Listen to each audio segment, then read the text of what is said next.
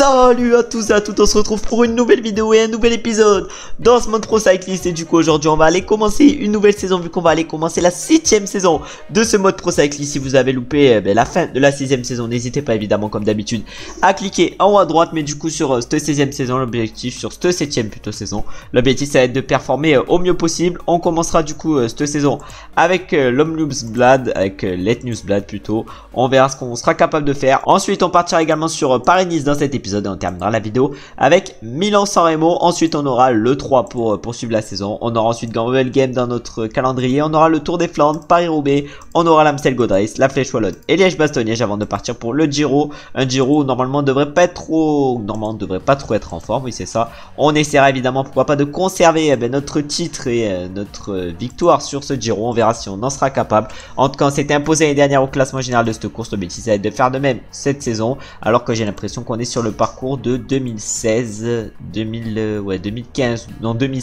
2017 plutôt. Ouais, ouais, le parcours de 2017, on est. On verra en tout cas ce qu'on sera capable de faire sur ce parcours. Ensuite, on partira pour les championnats de France avec un chrono tout plat et une course en ligne bah, toute plate également. Malheureusement, ça va être compliqué d'être champion de France. Et ensuite, on partira pour euh, le Tour de France. Je sais pas c'est le parcours de quelle année? C'est le parcours de 2016, lui, par contre, j'ai l'impression. En tout cas, on essaiera de performer au mieux, évidemment, sur euh, ce Tour de France où je pense qu'il y aura quand même de belles choses à faire. Et enfin, on partira évidemment sur la Vuelta qui sera donc notre dernier grand tour de la saison. On fera donc les trois grands tours comme on a pu le faire déjà la saison dernière et l'objectif évidemment ça sera de performer un maximum sur euh, cette saison et d'aller chercher les meilleurs résultats possibles. En tout cas on aura ensuite euh, le Lambordia en fin de saison. Je sais pas pourquoi j'ai dit, j'ai placé en tout cas là. Mais du coup, l'objectif cette saison, ça va être d'aller chercher eh ben, des maillots qui nous manquent justement au niveau de cette armoire à maillots. Il nous manque le celui du Tour de France. Il nous manque le maillot vert du Tour de France, du coup, le maillot jaune du Tour. Il nous manque le maillot Chiclamen du Giro. Le maillot de meilleur grimpeur de la Volta également, il nous manque. Il nous manque également eh ben, celui des championnats de France en ligne, celui des championnats d'Europe du chrono et des championnats du monde du chrono. Et enfin, celui des championnats d'Europe en ligne et euh, des championnats du monde en ligne. En tout cas, là, on va se retrouver du coup directement maintenant pour Let J'espère avoir bien géré ma forme pour Let Newsblad vu qu'on va se retrouver directement là. Et j'espère être en grande forme pour cette Newsblad afin d'aller chercher un bon petit résultat pour bien commencer la saison, ce qui serait génial. On va s'élancer avec notre coureur pour la première course de notre saison. On est à 100% de forme. On a un beau plus 3, ça c'est parce que j'ai utilisé le bonus volonté, mais malheureusement on risque pas d'avoir cette forme euh, longtemps parce que je vais foutre une semaine de repos après cette Newsblad, c'est-à-dire que pour Paris-Nice on sera pas en méga forme, on aura une forme convenable, mais au moins on n'aura pas de fatigue en vue des euh, classiques importantes qui arriveront après. L'objectif ça sera évidemment d'être fort sur les classiques qui arriveront tout à l'heure, mais déjà on va voir ce qu'on est capable de faire sur euh, cette Newsblad. En tout cas l'objectif c'est euh, le top 50 fixé par le directeur sportif. Mon objectif perso ça va être de faire mieux et on va se retrouver sûrement un peu plus tard sur cette, cette Newsblad où il risque de se passer pas mal de choses, mais c'est quand même assez compliqué à dire le blad. Il reste 36 km avant l'arrivée sur euh, cette Newsblad, mais on peut voir qu'on a quand même toujours énormément de retard par rapport à ce devant 4 minutes. On est actuellement dans un groupe de 107 devant Navoud Van Aert qui est parti avec Mats Pedersen. Ça va être impossible de les rattraper. On a également Philippe Ogana qui s'est envolé avec eux. Bon, vraiment, eux, on peut les oublier. On va jamais réussir à les rattraper sur cette étape, même si je vais tenter évidemment. Et c'est même pas une étape, c'est le Newsblad. Même si je vais tenter d'accélérer à un moment donné, ça sera compliqué de revenir alors que là on est encore 24 dans ce groupe et je vais tenter d'accélérer dans le prochain secteur. Allez, on entre maintenant dans le secteur. Pour l'instant, c'est Florian Virmich qui était en train d'accélérer. Il met un beau beau tempo le Florian Virmich, mais nous notre objectif ça va être d'accélérer à la sortie du secteur. Mais l'écart ne diminue pas, on a encore plus de 4 minutes de retard. Ah ouais, non, mais l'écart il ne diminue pas du tout. Je sais pas ce qu'ils font devant. Je sais pas quoi ils tournent, mais les mecs ils ne perdent aucun temps alors que ben, ça roule clairement à fond dans ce groupe. Bon, je sais pas ce qui se passe devant. Les mecs sont vraiment trop monstrueux, mais du coup il reste encore plus de 25 km avant l'arrivée. Je pense qu'on va se retrouver directement au final parce qu'on n'a rien à faire clairement sur euh, cette Newsblad. On n'a rien à aller chercher d'ici à l'arrivée parce qu'il reste encore 28 longs kilomètres et 4 minutes. Ça serait impossible à reprendre. On entre déjà dans le final de cette Newsblad. Devant la victoire va se jouer entre les 4 meilleurs du jour, c'est-à-dire Wout van Aert, Mats Pedersen et euh, Caputo ainsi que Filippo Ganna. Bon, aujourd'hui c'était le meilleur. C'est euh, logique qu'il joue la victoire, mais nous on va essayer d'aller chercher la meilleure place possible dans ce final. On est dans un groupe de 9 et là il y en a un qui va essayer de nous battre, j'ai l'impression. Ah voilà, il y en a une Ineos qui va accélérer, il y a une Ineos qui veut accélérer de, très très loin. Il reste encore un peu plus d'un kilomètre avant l'arrivée. Nous on va accélérer. Mais à un kilomètre de l'arrivée, on va peut-être craquer dans les derniers mètres vu qu'on a fait un gros effort pour revenir sur ce devant. Mais du coup, tout tout devant, c'est Mats Pedersen qui s'impose sur cet homme loop devant Aert et Filippo Ganna. Samuel Caputo termine donc quatrième et nous on va aller terminer cinquième aujourd'hui de cette Newsblad avec notre coureur. On a clairement tout donné. Asgreen termine sixième derrière nous et ensuite on a Ben Turner qui termine 7, Robertson 8 et Dylan Van Barneuft tandis que notre coéquipier euh, Askay termine 12. Bon, un petit top 5 pour commencer la saison, c'est pas trop mal parce qu'on va pas avoir énormément de courses de saison, c'est-à-dire que les top 5, je pense pas qu'ils vont être euh, ben, énormément nombreux, mais on commence en tout cas avec un top 5, on va pas s'en plaindre, on va se retrouver du coup maintenant directement pour Paris-Nice et pour la première étape en espérant être en bonne forme justement sur Paris-Nice et en espérant pourquoi pas euh, ben, jouer un bon truc et pourquoi pas un bon général. J'ai parlé qu'on allait se retrouver maintenant sur euh, Paris-Nice, mais avant de se retrouver sur Paris-Nice, on va aller voir le parcours justement de cette course. On commencera du coup sur Paris-Nice avec une première étape vallonnée entre plaisir et plaisir. Ensuite la deuxième étape, ça sera entre Chevreuse et Chalette sur Loin. On aura une troisième étape entre Chalette sur Loin et le Chiat. La quatrième étape, ça sera un chrono de 15 km entre Saint-Amand-Moron et Saint-Amand-Moran. La cinquième étape, ça sera une étape de Ghana à la côte Saint-André. Ensuite la sixième étape, ça sera une étape de moyenne montagne entre Sorgue et Apt. La septième étape, ça sera une étape là par contre de vraie montagne avec une arrivée à la Colman. Et la dernière étape, ça sera l'étape habituelle entre Nice et Nice. Notre objectif évidemment, ça va être de remporter Paris-Nice, même s'il risque d'y avoir une belle adversité. On va donc se retrouver d'abord au départ de la première étape pour voir l'adversité que nous aurons et pour voir également la forme que nous aurons parce que la forme elle va baisser avec euh, la semaine de repos que je vais m'infliger euh, juste là. On est du coup au départ de la première étape de ce Paris-Nice. On peut voir que l'objectif fixé par le directeur sportif sur ce Paris-Nice pour nous, c'est un top 3 au classement général final. On doit remporter déjà cette première étape. Bon, le... Le directeur sportif est clairement ambitieux sur ce Paris-Nice. Nous, on va l'être également et on va tenter évidemment d'aller chercher la victoire. Et je pense qu'on va se retrouver directement au pied dans le final et au pied du coup de la côte de Neufle-le-Château. La même qu'il y a en Open Tour, si je crois bien. Ouais, je crois que c'est la première étape de l'Open Tour où il y a justement cette côte de Neufle-le-Château. On va essayer du coup avec notre corps de bien la gérer. On va se retrouver au pied de celle-ci. Il reste moins de 6 km avant l'arrivée. Je vais du coup accélérer avec mon coureur et je vais essayer évidemment d'accélérer dans cette côte de Neufle-le-Château. Ah ouais, mais là ça accélère. Il a qui accélère. Romain Grégoire qui une belle avec Brandon McNulty dans sa roue. Nous, est-ce que notre forme elle a baissé Non, toujours pas 98%. Mais on va essayer de suivre les deux machines devant. C'est-à-dire Brandon McNulty et Tanater. Ah ouais, les deux, les deux normalement ils sont censés être monstrueux. Ça va être compliqué d'aller chercher. J'ai mis une belle accélération, mais Tanater et McNulty ils ont quand même su bien résister. Je vais consommer mon gel énergétique, mais il reste encore 3 km. Ah ouais, mais McNulty fait tout le travail. Il fait tout le travail pour Etanator. Ça va être impossible d'aller battre Etanator. Il est en train de récupérer du gel rouge et de la barre rouge dans la roue Brandon McNulty. Ah, mais là, je vais devoir accélérer. Je vais devoir lancer le sprint, mais ça va être trop compliqué d'aller gagner aujourd'hui sur euh, cette première étape de Paris-Nice. Je vais donc tout donner dans ces derniers mètres, mais malheureusement, ils étaient trop forts devant. Et ça va donc être Etanator qui va emporter cette première étape de Paris-Nice devant McNulty, tandis que moi, du coup, je vais aller chercher la troisième place aujourd'hui sur cette première étape.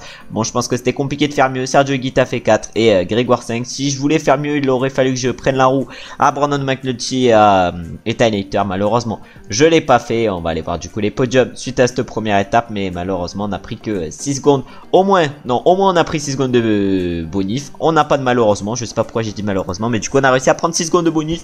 C'est positif, vraiment une étape positive pour nous. Le seul problème c'est qu'on perd 11 secondes par rapport à Etanator et Brandon McNulty, mais non, ça devrait pas être des dangers pour le classement général. Et au classement général, justement, on se retrouve actuellement 4 avec notre coureur à 17 secondes du premier actuel, c'est-à-dire Etanator. L'objectif évidemment, ça sera de lui revenir dessus par la suite de ce Paris-Nice, mais déjà on va se retrouver pour la deuxième étape de ce Paris-Nice et on va sûrement voir notre forme baisser parce que là la semaine de repos va sûrement faire effet à partir de la deuxième étape vu que c'est je crois bien un lundi. Après une première étape on a terminé troisième maintenant c'est la deuxième étape qui nous attend sur ce Paris-Nice. On peut voir que malheureusement la forme elle a baissé mais on a de la chance sur cette deuxième étape vu qu'on a un beau plus 4. Je vais essayer d'en profiter pourquoi pas pour aller chercher un beau résultat même si ça sera quand même compliqué parce qu'on a des notes limitées en sprint et qu'aujourd'hui ça va être clairement pour les sprinters, mais on va se retrouver dans les 5 derniers kilomètres et l'objectif ça va être de faire un sprint au moins convenable. On entre donc dans le final avec notre coureur sur euh, cette deuxième étape de Paris-Nice. On va voir ce qui va se passer. J'ai essayé de changer un peu la caméra parce que là elle était un peu pourra, mais du coup on va voir ce qui va se passer dans ce final. Je vais essayer évidemment de tout donner pour aller chercher la meilleure place d'honneur possible parce que voilà la victoire clairement c'est abandonné. Si j'arrive à aller chercher une victoire sur un sprint comme ça, c'est vraiment que je gère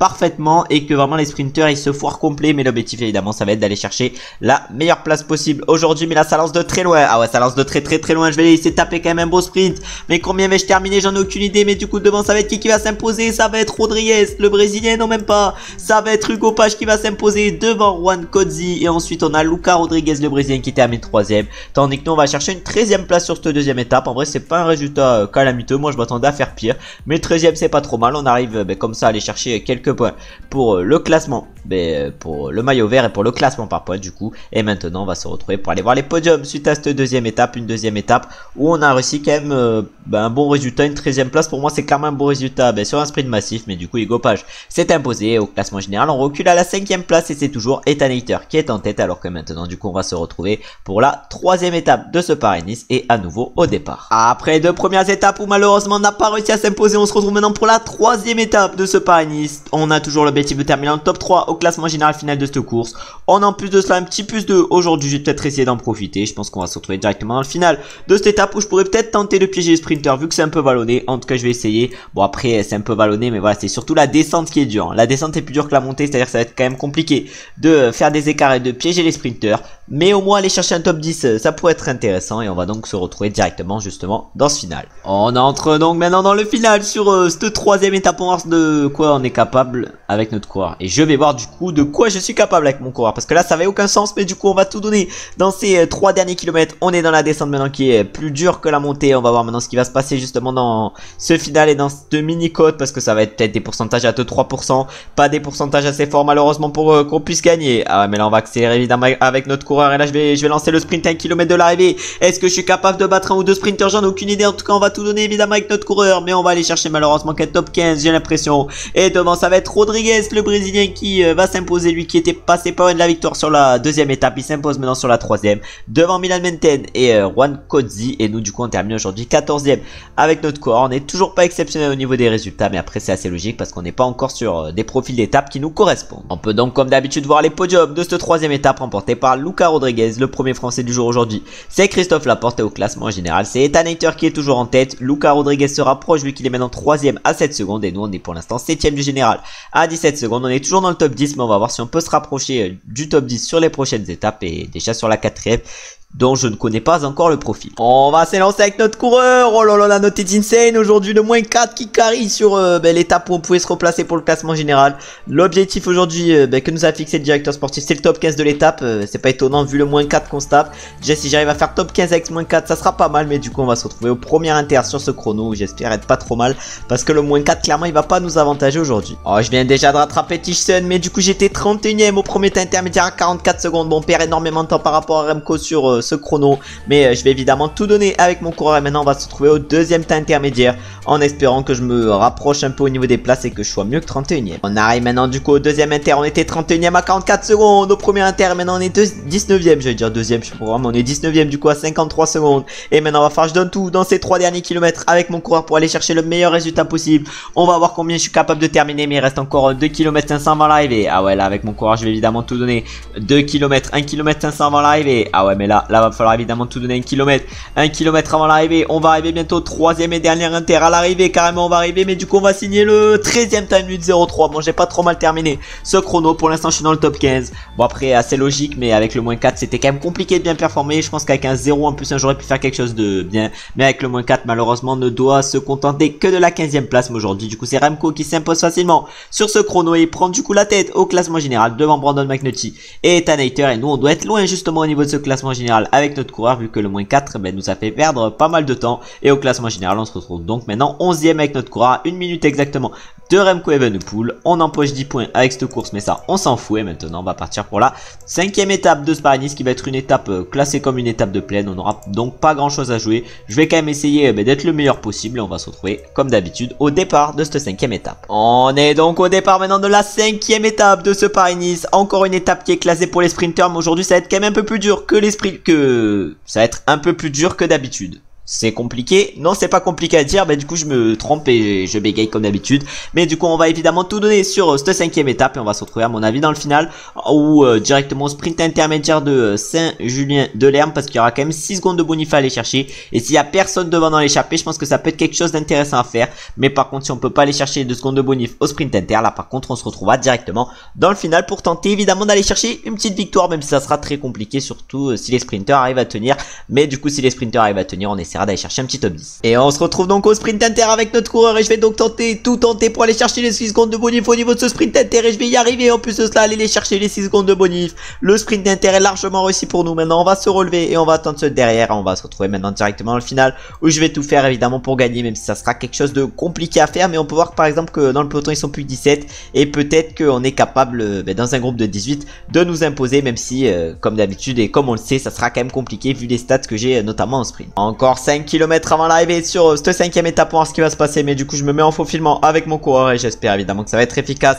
Mais il reste encore 4 km. Ah, voilà, on a Tillier, Tillier comme sprinter face à nous. Bon, après, il a pas une barre jaune exceptionnelle, mais il sera quand même normalement plus rapide que nous. Mais du coup, il reste encore un peu plus de 2 km avant l'arrivée. Nance Peter s'il est en train de nous protéger sur cette cinquième étape. On va voir combien de temps il est capable de nous protéger. Mais là, j'ai l'impression que je gère plutôt bien. Là, je vais sûrement accélérer 1 km 400 de l'arrivée. Là, je vais, je vais lancer le sprint à la sortie du virage et on va voir où ça nous amène. Mais du coup, je lance le sprint avec mon coureur. Le 4 max, elle met bien, mais malheureusement, ça va finir en espèce de faux plat montant. Et là, on pourra pas résister avec notre coureur. Mais devant, du coup, c'est Corbin Strong qui remporte cette cinquième étape devant Thibonis et Christophe Laporte. Max Kenter termine donc quatrième. Nils Peter 5 et nous, on va chercher une excellente sixième place avec, euh, avec notre coureur et du coup avec mon coureur.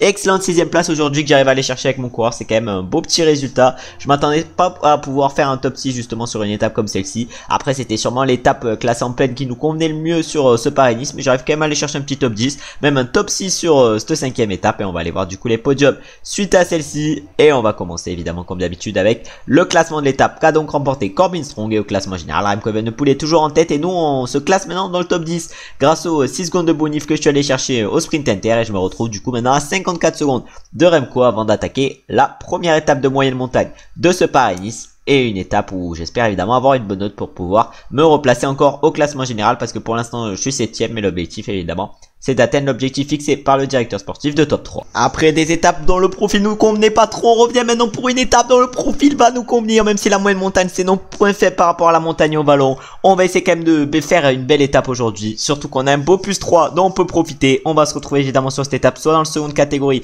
dans le final, soit ben, au niveau du sprint inter où on pourrait aller chercher secondes de bonif. L'objectif gagner cette étape et on va voir si on en est capable en se retrouvant directement dans le final. Il reste encore un peu moins de 15 km et même un peu moins de 14 km avant l'arrivée, mais là c'est en train d'exploser de partout sur cette étape. On n'est plus que 22 euh, et on n'est plus que 19 surtout dans ce groupe maillot jaune. On va voir ce qui va se passer. Mais là on est revenu, on vient de revenir sur l'échappée. Là ça serait peut-être le bon moment pour accélérer évidemment si je me fais pas bloquer par tout le monde. Et justement je vais accélérer. Il y a que vous Aert qui nous suit.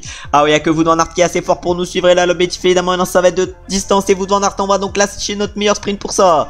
Ah ouais, Cursor 85. L'objectif c'est que vous Van Aert ne nous revienne pas dessus. Mais ça va être compliqué. Il est meilleur que nous, euh, vous Van Aert quand même. Niveau, euh, niveau en général en tout cas. On va essayer maintenant de collaborer avec nous. J'espère qu'il va bien m'aider le bout en J'ai l'impression qu'il est justement bien parti pour m'aider. Il reste maintenant moins de 10 km avant l'arrivée. On va s'accrocher à vous devant Art et on va se retrouver un peu plus tard sur cette étape où malheureusement euh, ben, Remco il a réussi à nous revenir dessus dans la descente avec Ethan Hater et avec Daniel Philippe et Martinez. Ça va être compliqué maintenant de euh, faire quelque chose de bien. Mais on va faire du coup la descente à fond avec notre coureur et on va tenter d'aller chercher la quatrième place parce que malheureusement ça va être trop compliqué d'aller chercher les secondes de bonus parce qu'on a encore pareil Cosnefroy et Pinario qui sont devant mais au moins tenter euh, pourquoi pas d'accélérer encore une fois dans cette côte et dans ce sprint intermédiaire. En tout cas, je vais tout faire évidemment pour euh, accélérer. Je vais essayer de perdre le moins d'énergie possible en barre jaune. Et là, on a Ramco qui mène encore une fois son tempo. Nous, on va prendre notre gel énergétique à un peu plus de 4 km, un peu moins de 4, de 4 km avant l'arrivée plutôt. Mais on va voir évidemment ce qui va se passer alors que moi, je vais tenter évidemment d'accélérer. Il reste encore quelques mètres avant le sommet. Il reste encore quelques mètres avant le sommet. Est-ce que je peux piéger Remco Non, je peux pas le piéger malheureusement.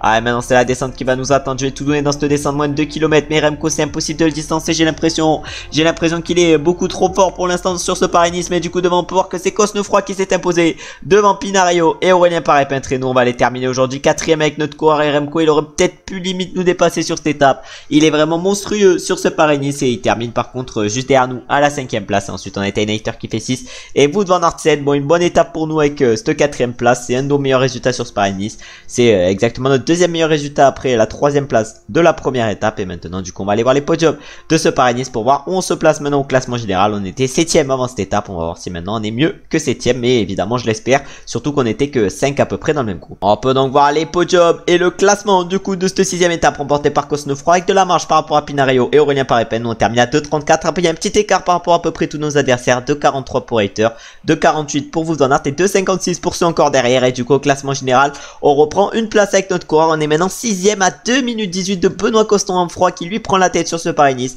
Il y a Aurélien Paré-Pen également qui euh, se replace à la troisième place mais ça va être compliqué pour eux de tenir leur place vu que maintenant ça va être des étapes de montagne qui vont nous attendre et la montagne c'est pas le point fort de Cosnefroy. Par contre Aurélien Parapet il peut très bien tenir la distance justement sur une étape de montagne et on va se retrouver du coup pour l'étape du col de la Couillole directement et au départ en espérant évidemment avoir une note de fou pour pouvoir tenter de gagner. On va s'élancer maintenant pour la septième étape de Sparenis et malheureusement ça se complique aujourd'hui pour cette première étape de montagne vu qu'on se tape un moins 3 avec mon coureur. Je vais essayer quand même de bien gérer avec ce moins 3 et on va se retrouver à mon avis directement au pied du col de la couilleule en espérant rester dans le peloton et ne pas se faire distancer. C'est même pas le col de la couilleule, c'est le col de la colmiane qui nous attend. Moi je me suis trompé clairement 8 euh, fois d'affilée et je vais essayer évidemment de tout donner sur cette étape pour euh, ben, me replacer pourquoi pas au classement général face à un Cosne froid et un rien par la peine qui seront sûrement en difficulté. On est dans les 16 derniers kilomètres de l'étape avec notre coureur en au pied surtout du col de la colmiane les 16 derniers kilomètres car on en a rien à faire, on est juste au pied de la montée finale, on va voir évidemment ce qui va nous attendre avec notre coureur. Je vais essayer évidemment de gérer au mieux dans cette montée mais ça va être quand même compliqué de bien performer surtout avec le moins 3.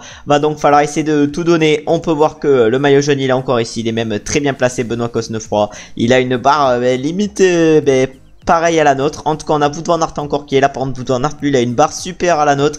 Il est euh, monstrueux aujourd'hui. Le voûte et le puceau doit bien l'aider. La belle forme également doit bien l'aider. Mais ça va être très compliqué aujourd'hui de, le battre. On a également un Evenpool aujourd'hui à 0. On a à peu près la même barre que lui. Mais on va voir du coup ce qui va se passer dans cette montée où pour l'instant c'est à l'arrêt complet dans le peloton. Alors que nous, évidemment, on va tenter de conserver notre énergie dans cette montée où euh, ça risque d'accélérer très très fort et où ça accélère déjà très très fort à combien? À 12 km du sommet. On va voir évidemment ce qui va se passer. Mais moi, je vais monter à mon rythme dans cette montée. Je vais espérer que mes coéquipiers envoient un bon petit rythme devant. Alors qu'on est encore justement 32 dans ce groupe et que devant les plus forts euh, ben, accélèrent. Mais je pense qu'ils accélèrent un peu pour rien pour l'instant. Il reste encore un peu moins de 8 km avant l'arrivée. Mais devant c'est envolé. Il y en a encore euh, Daniel Martinez. Alors que là maintenant Benoît Cosnefroy vient de craquer. Ah mais là il reste encore un peu plus de 6 km avant l'arrivée. Nous on est dans un groupe actuellement de 10 avec notre corps. On va essayer de s'accrocher dans ce groupe. Alors que devant il y a encore Wood Van Aert. Il y a encore Remco Evenepoel surtout qui sont encore très costauds. Oh là mais la barre qu'ils ont elle est encore monstrueuse elle est limite supérieure à la note la barre qu'ils ont actuellement. Ah ouais, celle de Martinez, elle est supérieure à la note, c'est-à-dire qu'ils sont clairement meilleurs que nous aujourd'hui. Va falloir essayer de bien gérer évidemment dans cette fin de montée, mais là il reste encore 5 km justement avant l'arrivée. Et l'objectif évidemment ça va être de terminer euh, ben, le mieux possible cette montée, mais là le moins 3 aujourd'hui eh ben, nous fait mal. Et va falloir du coup essayer de limiter la casse avec ce moins 3. Déjà on limite bien la casse vu qu'on est encore dans le groupe de 9. Mais on va voir maintenant qui c'est qui va craquer alors que justement notre coéquipier Bernal craque, mais on a encore Ethan par exemple qui tient, même s'il va craquer là même à la seconde où j'ai de dire qu'il tenait. Maintenant, il craque. Mais du coup, là, maintenant, on a Benoît Cosnefroy qui va craquer. Ah ouais, mais là, j'ai l'impression de pas trop mal gérer quand même aujourd'hui. Je vais continuer à m'accrocher aux roues de devant. Alors que là, il y en a qui accélère. Nous, on va pas pouvoir euh, tenir leur groupe à eux. Et on va accélérer également. Et maintenant, on va terminer tranquillou. Cette étape, il reste encore 3 km 300 avant le sommet. On va perdre énormément de temps, ça c'est sûr, par rapport à Remco Evenepoel. Même pas par rapport à Daniel Martinez, on va perdre du temps. Par rapport à van également. Par rapport à Guillaume Martin également, on va perdre du temps. Mais on va tout donner maintenant dans cette fin de montée. Il reste encore 2 km 500 avant l'arrivée on va pas rouler non plus pour eux, on va essayer de récupérer avec eux, on va consommer notre gel énergétique, on va se retrouver dans le dernier kilomètre. Et on va y arriver du coup avec notre coureur dans le dernier kilomètre, on va perdre à peu près 3 minutes par rapport à ceux devant et surtout par rapport à Daniel Martinez qui a su profiter de sa forme pas trop mauvaise et de son plus 5 aujourd'hui pour aller chercher la victoire. Moi je vais essayer de bien terminer également cette étape et je vais aller chercher je crois bien la sixième place du jour. En tout cas ça va être Guillaume Martin devant qui va aller chercher la troisième place. Il était sous plus 3 aujourd'hui et il en profite pour aller chercher cette belle place le Guillaume Martin. Madouas termine donc ensuite quatrième. Wood termine cinquième et nous on va aller terminer sixième aujourd'hui avec notre coureur à 2 minutes 45 de la tête de course. Bon malheureusement euh, ben, le top 3 classement général final va être compliqué à aller chercher surtout suite à cette septième étape. Le moins 3 malheureusement nous a pas trop aidé. On va se retrouver du coup maintenant pour aller voir les podiums suite à cette septième étape. Mais là ça a été un peu une déception justement cette, cette septième étape. Et faudra essayer de revenir plus fort ben, justement par la suite. Euh, de ce pro cycliste et par la suite également et fin de ce. On peut donc voir les podiums de cette septième étape qu'a du coup remporté Daniel Martinez. Nous on termine aujourd'hui 6 à 2,43 avec notre coureur. Tous ceux qui étaient devant nous, ils étaient meilleurs que nous. Aujourd'hui au classement général, on se retrouve donc 5 avec notre coureur à 2 minutes 28 de Daniel Martinez qui a donc pris la tête suite à cette septième étape. Il a 10 secondes d'avance par rapport à Remco, une 45 par rapport à vous devant Aert et maintenant du coup on va se retrouver pour la huitième et dernière étape de Paris-Nice. Et au départ de cette huitième et dernière étape en espérant avoir une belle note pour bien conclure cette vidéo parce que finalement je ferai pas 1500 MO dans cet épisode, mais j'irai le faire dans le prochain. Et du coup, l'objectif évidemment, ça va être de bien terminer ce Paris-Nice en allant chercher pourquoi pas une première victoire dans cette vidéo et euh, une première victoire également cette saison. On va se lancer maintenant pour la dernière étape de ce Paris-Nice avec notre coureur. On a un petit plus de aujourd'hui pour cette dernière étape. Bon, euh, malheureusement, le profil va être euh, compliqué pour ben, faire des écarts, mais on va essayer, pourquoi pas avec notre coureur, d'aller chercher le podium au classement général, même s'il faudrait récupérer, je pense, pas mal de temps. Faudrait récupérer combien? Ouais, une minute à peu près à récupérer, 45 secondes, ça sera compliqué à aller chercher. Mais on va évidemment tout donner sur cette étape et on va se retrouver sûrement dans le final parce que même si je veux récupérer 45 secondes, ça m'étonnerait qu'on y arrive. On entre dans les 5 derniers kilomètres avec notre coureur. Malheureusement, on n'ira pas gagner cette étape aujourd'hui avec notre coureur, malheureusement, parce que devant les échappés, ils vont savoir résister. Il leur reste 100 mètres justement aux échappés. On va aller voir qui c'est qui va s'imposer sur euh, cette dernière étape de Paris-Nice. Malheureusement, ça ne sera pas nous et ça sera Julien Lafilippe qui s'impose du coup devant Romain Grégoire pour un doublé français. Freddy Arias ensuite euh, termine troisième et Pinario 4 quatrième. Tandis que nous, on va pouvoir aller chercher que la cinquième place au mieux avec notre coureur. Et en plus de cela, malheureusement, dans cet épisode, on n'arrivera pas du coup à trouver la victoire et aller chercher la victoire d'étape. Mais moi, je vais au moins tout donner dans ce final évidemment avec mon coureur et je vais essayer d'aller chercher ben, la meilleure place d'honneur possible. Mais malheureusement, ça va être Etinator qui va régler le sprint du peloton devant Brandon McNulty et vous devant Nart. Et nous, du coup, on termine aujourd'hui dixième de l'étape avec notre coureur et on devrait perdre normalement notre maillot vert au profit de Etinator qui a terminé devant nous aujourd'hui. Et on va aller voir du coup les podiums de ce Paris-Nice où malheureusement ben, on ne devrait que terminer que cinquième du général alors que l'objectif c'était le top 3 mais voilà on n'a pas eu de chance sur euh, la plus grande étape de montagne. On s'est tapé un moins 3 déjà avec un 0 j'aurais peut-être pu limiter la casse mais le moins 3 nous a fait mal.